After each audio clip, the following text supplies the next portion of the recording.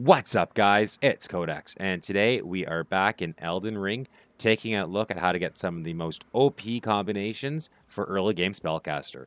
That is the Meteorite Staff and the Rock Sling spell.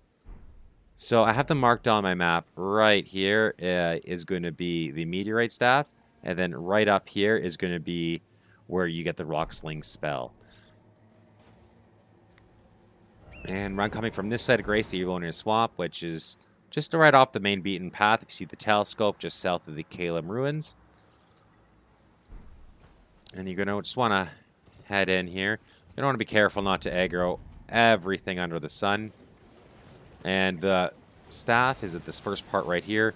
You'll see the purple as you make your way approach. There'll be a guy hanging, just chilling. It should be up in here.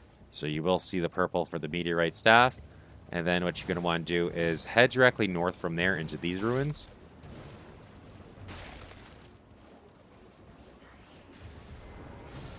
Yoink. And now we're going to be getting that OP spell. So it's in a chest just right down here.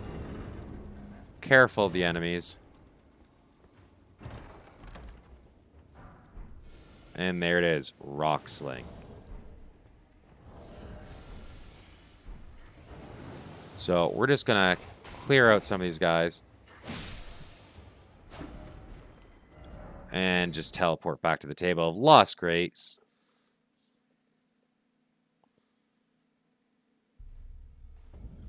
So now we're at the round table here. We're going to take a look at the staff.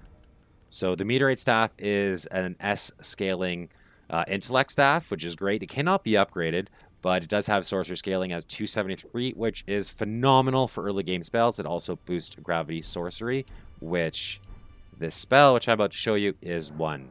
So we're going to go over to memorize spells. And We are... I have so many spells, guys.